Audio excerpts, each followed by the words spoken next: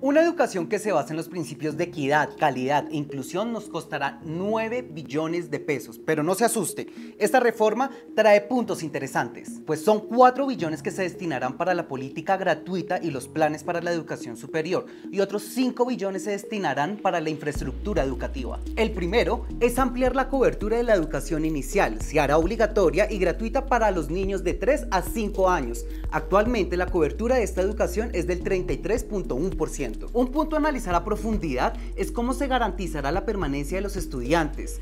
Esta propuesta busca reducir la deserción escolar, especialmente en las zonas rurales en donde la tasa de deserción es superior al 10%. Un tercer punto es fortalecer la educación superior de forma gratuita y de calidad. Para ello se destinarán recursos adicionales a las instituciones públicas de educación superior. Además, el proyecto busca fortalecer la educación para grupos vulnerables como lo son los privados de la libertad, las personas en situación de discapacidad, los grupos étnicos, las madres cabezas de familia y los integrantes de las fuerzas militares. Recordemos que estas iniciativas ya se estaban analizando en el gobierno de Duque.